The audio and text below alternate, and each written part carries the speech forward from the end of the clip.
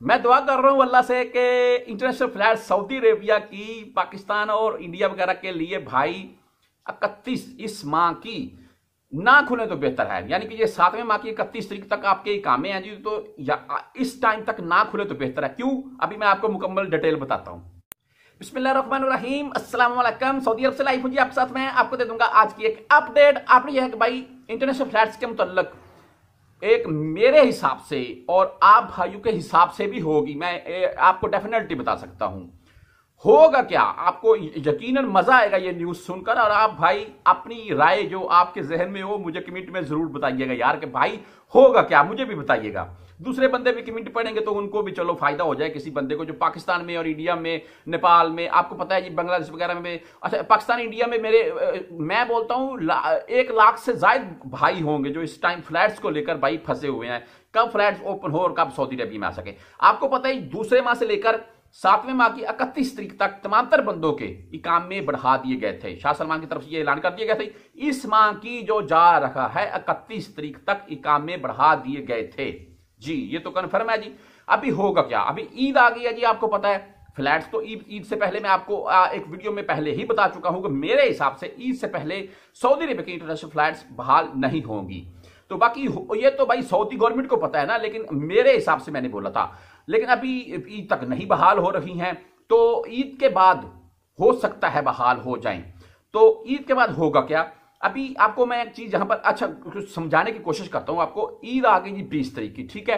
इक्कीस, बाईस, तेईस, चौबीस, पच्चीस तक की छुट्टियाँ चल रही हैं अतवार वाले दिन तक की तमाम तर सरकारी अदारे को। अच्छा एयरपोर्ट के मुताबिक मैं मानता हूँ कि आपको एयरपोर्ट वालों को जो वो तो चलते रहते हैं, लेकिन अमला वगैरह बदलता रहता है, लेकिन फिर भी वहाँ पर भी छुट्टियों का ऐलान किया जाता है। जैसा कि जो आम मजदूर वगैरह शिरकों में काम करते हैं, उनको चार छुट्टियाँ की जा रही हैं तो उनको भी चार तो लाजम होंगी। तो ये भाई तमाम तर सरकारी अदारों को चार छुट्टियाँ तो लाजम होंगी, जितना भी इमरजेंसी वाला काम होगा। अमला तो बदल काम तो चलता रहता है, लेकिन छुट्टियाँ ज़रूर होती हैं। तो ईद के भाई दूसरे दिन, तीसरे दिन तक तो छुट्टियाँ हैं। अगर ईद के चार दिन बाद, पाँच दिन बाद, छह दिन बाद, सात दिन बाद सऊदी अरेबिया अपनी इंटरनेशनल फ्लाइट्स ओपन कर देता है। बीस की बीस की ईद होगी जी। पच्चीस पच्चीस को चलो चार दिन बाद ही बोल देते हैं हम कि फ्लाइट्स ओपन हो गई हैं जी। अगर हो गई तो क्या बनेगा? बनेगा क्या? आप भाई अभी सोचिए। पाकिस्तान से आप सऊदी अरेबिया आएँगे, आपका इकतीस, इस माह की इकतीस तारीख तक इकामा है। आपके पास दिन कितने बचेंगे? चार से पाँच या छह दिन बस। एक दिन तो ऐसे जाएगा ना, वो फ़्लाइट ओपन होगी और आपको पता चला है, दिन को आपको पता चला है। पाँच दिन या चार दिन बचेंगे पीछे तो पाँच चार दिन में आप भाई फिर दौड़ दौड़ लगाएँगे कि अभी मैं किसी तरीके से टिकट ले लूँ। अगर आपने दोनों खुराक वैक्सीन की ले ली है चाइना की भी आपको दोनों खुराक अगर मिल गई है, तब भी आपने रजिस्ट्रेशन वगैरह जो कर लिया है, वो तमाम ड्रेल आपकी ओके होगी। तो आप भागेंगे, अगर आप, अगर आपने एक भी डोज ली होगी तो आप भागेंगे।